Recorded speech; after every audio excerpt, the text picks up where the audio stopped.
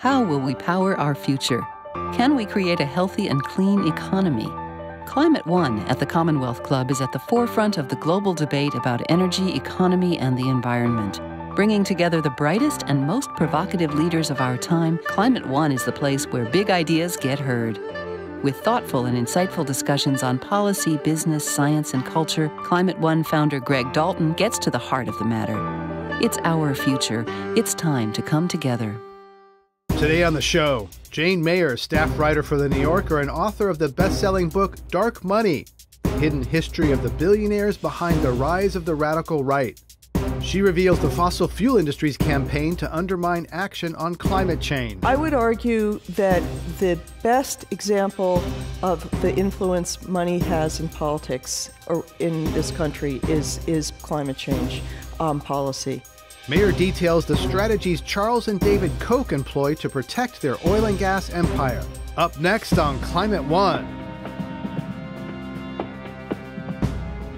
In 2008, Barack Obama and uh, John McCain basically had the same position on climate change. It's something we can fix, we need to do it.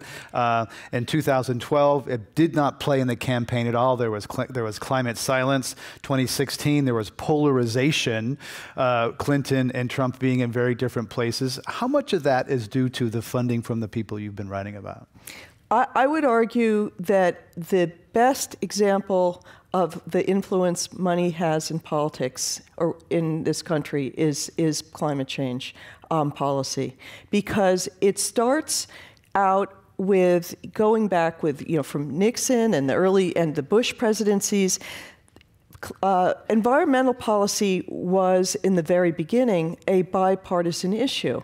And and what's happened is it's been captured um, by one party. This, this anti climate change push comes from the Republican Party, which is funded by the fossil fuel industry. And they have focused their efforts on that, and they've really moved the whole party in their direction with money.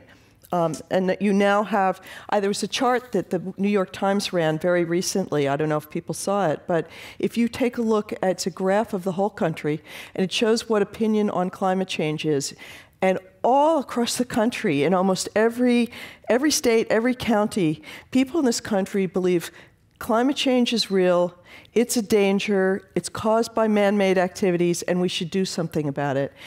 I live in Washington, D.C., where the Congress is, and where Scott Pruitt is the EPA director. It's almost the only place that has exactly the opposite point of view. And there's really no other explanation for it except the money that's going into those people's pockets. I'm sorry. Between 2005 and 2008 alone, the Koch family put $25 million into funding denial of climate change.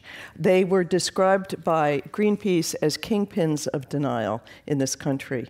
Between 2003 and 2010, according to Robert Brulle, who's a, a, a professor at Drexel who's followed the money on climate change, there was $500 million in this country put into denial of climate change. Um, a lot of that came from the Kochs. So, Jane, you start uh, the book with, focusing on the Koch brothers and note that these libertarians uh, inherited a fortune that was made in part by doing business with two of history's most notorious dictators, Joseph Stalin and Adolf Hitler. Connect those dots for us. Well, um, the, the father in the family, Fred Koch, figured out a, a, new way to refine oil in this country, and he had a hard time selling it. The major oil companies were kind of blocking him. And so he, in order to make money, took his discovery elsewhere. And the first thing he did was build up uh, the Soviet Union's oil business for Stalin. And then I was trying to figure out what this family was about and get the family stories. And somebody said to me, Well, then the father went over to Germany to do some work, and it was sort of the late 1930s. And I was thinking, Germany in the late 1930s, that's a strange time and place to be working. So I started digging a little bit deeper, and sure enough, it turned out that he and a partner were building a refinery that had to be greenlighted by Hitler and that became very important to the Hitler war effort in World War II, according to all kinds of um, historians uh, that I interviewed about World War II and, and military industrial history. So, um, so the father, uh, not only that, but when you're doing a book like this, you really don't know what you're going to find. But not only had the father gotten this um, refinery built for Hitler, but he had been quite impressed with the German culture and brought back a nanny to raise the Koch brothers, who turned out to be a Nazi. So I was thinking, you know, how often do you get a Nazi nanny for the two of the you know, billionaires who were dominating American politics? It was kind of like one of those days when you're sitting alone on a book and you think, oh, God, thank you. Um, this is just too interesting. I can't wait to tell people this story. So. And you write that there's someone who worked for the Koch family, Clayton Coppin, who actually connected this father figure with some of the ideology of the family. Well, yeah. So Clayton Coppin was he was actually uh, at first a libertarian himself and a professor of history, and he was hired by the Koch family to do a kind of a, a secret biography of the first of the company and then of the family, and. Um, so he, he went through all the papers in the family and letters and interviewed people, and he came up with this theory that I thought was very interesting about why Charles Koch is such an ardent libertarian. And his thought was that Charles's father, Fred, was this overbearing, sort of John Wayne like character who was very tough on these boys, and that, um, and that Charles was attracted to an ideology that had, that sort of crushed all all kinds of rules and limits. Libertarianism, he, had this ideal of no rules, no government. The government was, in his, according to Clayton Coppin, the final thing that could stop him after his father. And so he wanted to just tear it all down. I am not a psychiatrist. I don't know if that's a fair interpretation. I was not able to interview uh, Charles and David Koch, but I thought it was certainly worth noting that, that a man who spent a number of years doing a, a kind of a secret history of the family for the family came up with this theory. And uh, yeah, it's fascinating. So they inherit this money, and they actually uh, kind of sort of came sideways into their political activism. It was kind of a, for tax planning reasons, you write. It wasn't like that they had political ambitions. Like they had all this money, they had to find tax efficient ways to use it, and they started giving it away to these organizations. So tell us how they got involved in politics. Well, so they first they were raised by their father Fred, who became extremely anti-communist after working with Stalin and seeing people he knew were, were killed and sent off to gulags. And so he came back to this this country and helped found the John Birch Society. Um, and, and the boys were raised in that environment. And, and, and, and Charles and David were both members of the John Birch Society as young men. So they were kind of inculcated in, in their worldview. But they also had inherited hundreds of millions of dollars, each, each of these boys did. There were four in the family, actually and and their father's estate planning hit upon a mechanism which was if you could put away uh, some of the money and and donate the interest to charity, you could avoid paying inheritance taxes.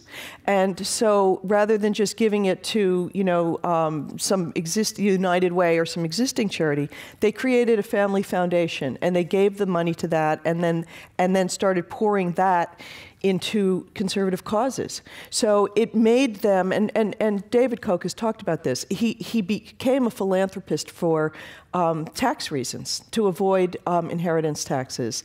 And they found that it gave them a lot of influence. To give away that kind of money um, every year makes you have a, a super loud voice in this country, and, and they kind of liked it.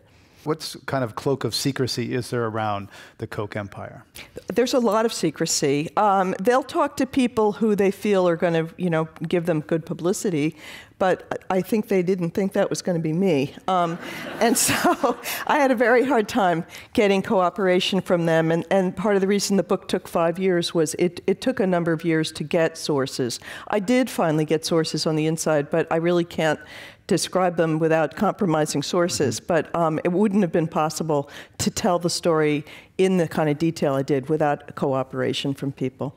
The Koch brothers used to operate, and this whole organization used to operate in, in darkness, largely thanks to you and your reporting. There's a lot more light on it now. How has that changed the way it operates, that there's more scrutiny? Well, they've, they've actually they've, they've done a lot to try to improve their image. Um, and, and it's been interesting to watch. Um, luckily, there was particularly after 2012, when they put a ton of money into trying to elect Romney um, and defeat Obama. And when that didn't work out, um, they went back to the drawing board to try to figure out what went wrong. And um, what's interesting is they had a meeting with a number of the big donors that they work with, um, whose money were, was being pooled, and there was a tape that leaked of the discussion.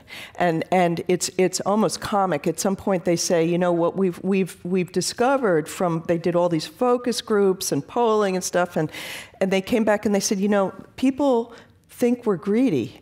Um, and, and how much uh, did that cost? They don't trust us, and so, the, so they actually uh, embarked on a, a, a, pretty large image renovation project that included, and you can hear it when you listen to this tape, um, they talk about what they've discovered they need to do is form unlikely alliances with people who, who um, the public wouldn't expect them to work with, and to do things that look like they're, they're not self-interested.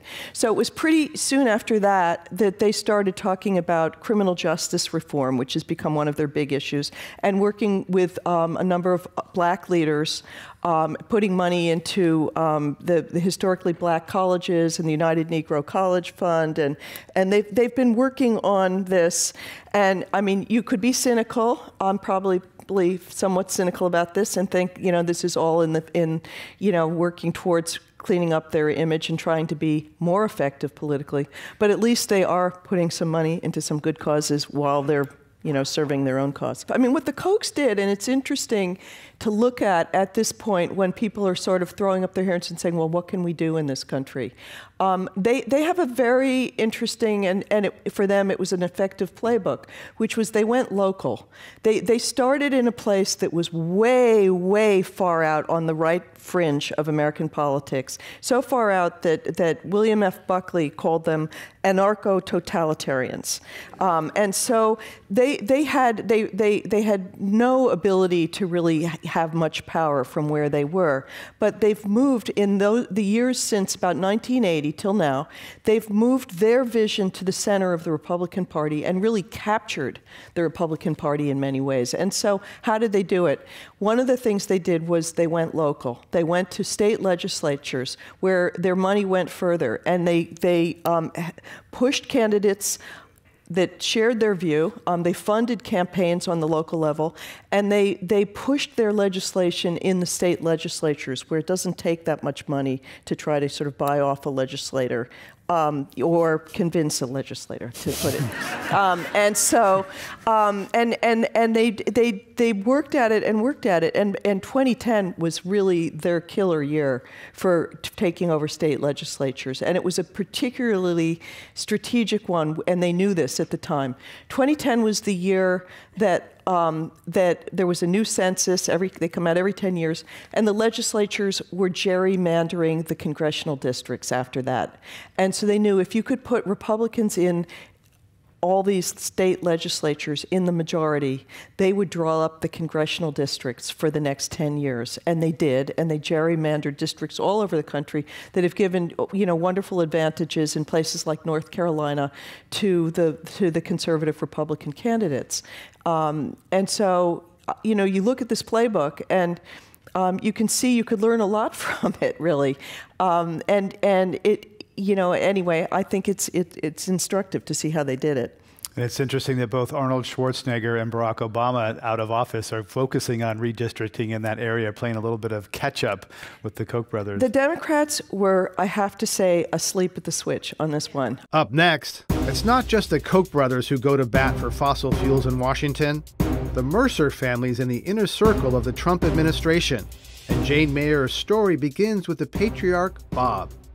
Let's talk a little bit about uh, Bob Mercer. Uh, he was a Cruz supporter who switched to Trump. One of the people you interviewed in your recent New Yorker article said Trump would not be president were it not for uh, Bob Mercer. So tell us about him and his daughter.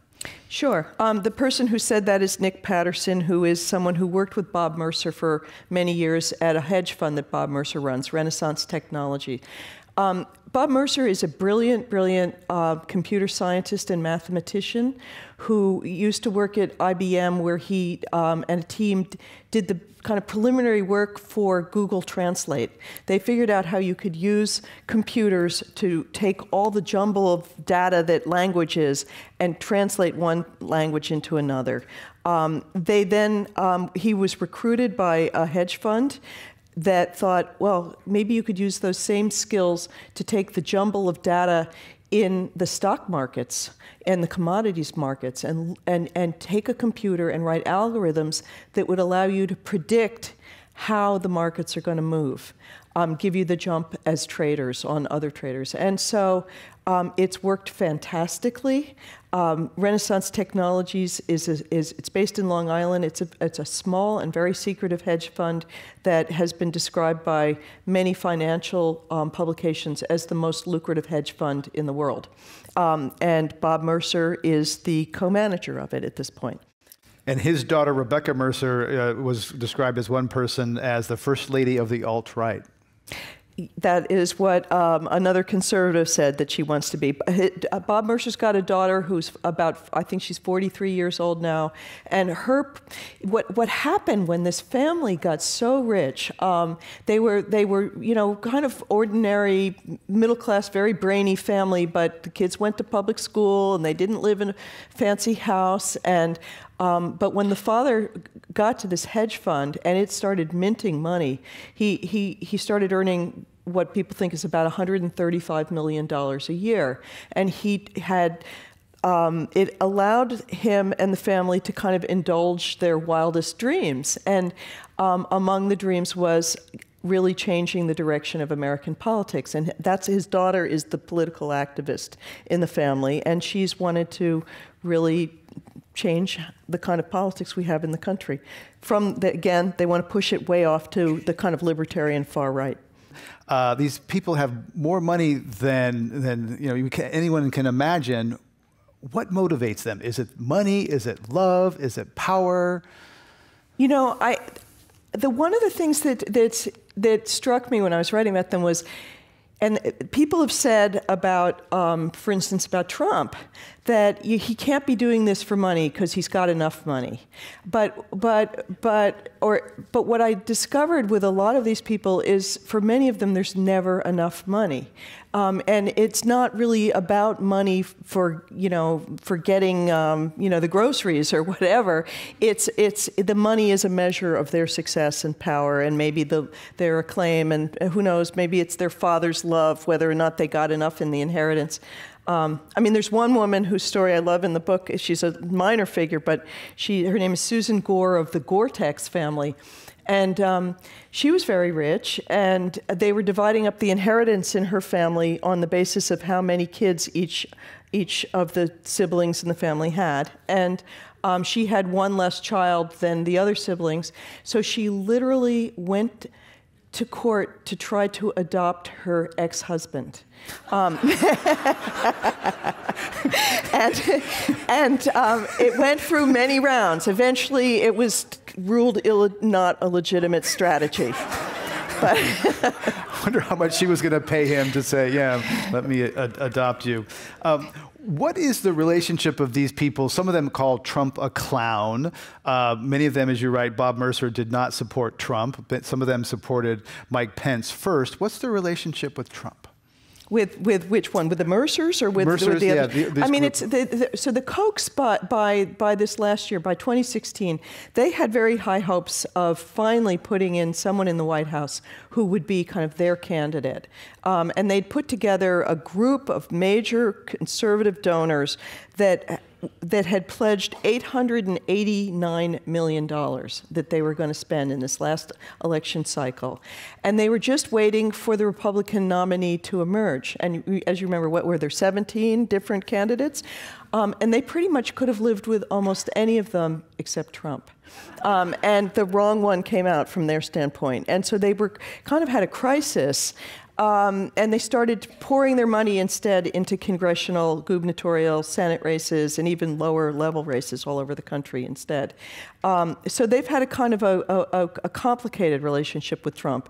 Many of the people that they have um, worked with, and even some of their funders, um, from their group, such as Betsy DeVos, are now part of the Trump administration. And, and there's more and more reporting that's coming out. There was just something recently that shows how many people are, uh, you know, in senior levels in the Trump administration who were previously working for the Kochs. And there are a lot of them. I've got to say, Mike Pence, in, in 2012, when Charles Koch was trying to figure out who he would really want to have run for president, Mike Pence was his number one choice. So um, Pence is someone that they love. And Mark Short, who's working for Mike Pence in the White House, I think I can't remember if he's his chief of staff or some top job for Mike Pence, ran the Koch's um, money business, their whole political money operation until you know, a year and a half ago. So you've got people in there who, who are kind of Koch people.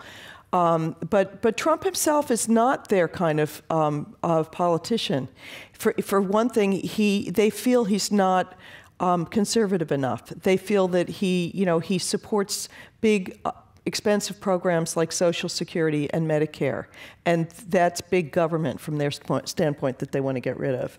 Um, so, Mercer, on the other hand, um, Rebecca Mercer and Bob Mercer became the funders who really saved Trump's neck in the final round of the campaign. Trump was really in, in rocky shape in the very end. It was after that tape came out, the Access Hollywood tape. His uh, chief, his, the man that was running his campaign, Paul Manafort, had to quit under, you know, with, with one headline after another tying him to Russian and Ukrainian oligarchs. It was a mess. And um, Cruz had failed. The Mercers were looking for a candidate, and they really wanted to defeat Hillary Clinton. And Trump was the last man standing, and they jumped in, said, We'll give you a couple million dollars, but you got to hire our people. And they had their own political operatives who had been working with them.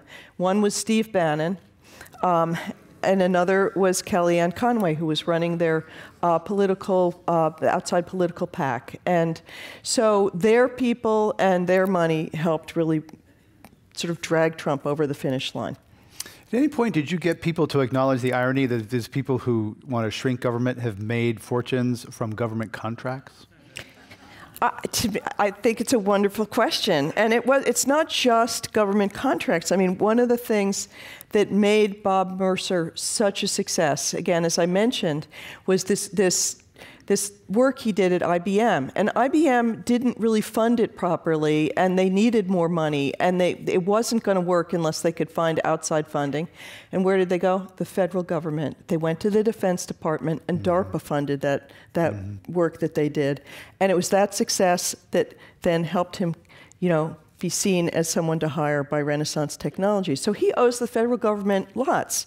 But for some reason, he, according to the people I interviewed who work with him, once said he wants to shrink the federal government down to the size of a pinhead. And he, he now says he doesn't think anybody should get government aid, um, that it coddles people, and that um, people need to make it on their own. Looking ahead, what have these people uh, that you've written about, what have they done to, to pass it on to the to the next generation. We've talked about Rebecca Mercer. Uh, don't know about the Kochs or others. What plans are there for these? Their causes to outlive these individuals. Well, I mean, to, as far as passing it on to the next generation, one of the things that's that's literally alive and in front of Congress that both the Kochs and the Mercers have pushed for is to get rid of estate taxes. You can then pass it on to the next generation without paying anything. And and I you know I I think that it's something it's that uh, you know I really think in this country, we don't want to become an aristocracy where there's just one class that owns so much of the, the, the goods in this country and the wealth in this country, because it begins to destabilize the democracy if it gets too out of whack. Um, you know, you, it's, it's hard to have one man, one vote, and everyone be politically equal when you have that kind of inequality going on. And so I worry about that. We're going to go to our lightning round, a series of brief questions and brief answers uh, for Jane Mayer. First one is um, true or false? Uh, billionaire Bob Mercer was sued in 2013 by three of his household staff for failure to pay overtime as promised. This is true, but he had an excuse. He docked their wages because they hadn't followed his instruction to throw out every shampoo bottle when there was two thirds or more used. Uh, true or false, when CIA Director Mike Pompeo was in the House of Representatives, he was known as the congressman from Koch. That is correct. True or false, the billionaires you have researched have compiled a dossier de detailing your darkest secrets. Well, at least they thought they were my darkest secrets. we'll come back to whether they've. Um, uh, uh, true or false, you are related to Hollywood legend Louis Mayer, whose name is on this auditorium. I wish. um, single, this is a one word answer. Uh, which American politician rose to power in the last century more fueled by oil money than any other? Probably Lyndon Baines Johnson. Didn't expect that one, did you? uh, last question. If you could interview any one of the living billionaires in your book, Dark Money, which one would you choose? I really would love to talk to Charles Koch. I think he's a fascinating and a major figure in our politics. What, what is the vision of this radical um, libertarianism? Where, where does it bring us? And it's one of the things you asked who I'd want to talk to, Charles Koch. It's one of the questions I feel like nobody ever asks. What, what is your actual real world vision of what a world would look like with no government that, that regulates anything and no taxes. You know, I mean, is this, I mean, it, it sounds in some ways like, you know, the most failed states in Latin America mm-hmm. um, where there's nothing but crime and sort of warlords. I, I, you know, where, where does this take us? And, and on the climate, you know, I, all I can conclude is that the Kochs are deeply devoted to their, their company and to their bottom line. And, and, and so long as they can stave off a tax on carbon um, and keep the United States buying fossil fuels, they're making money. And it matters a lot to them. I'd like to thank our audience here at the Commonwealth Club of California in Silicon Valley and those listening online and on air. It's been a pleasure to be with you. Good night. Thank you.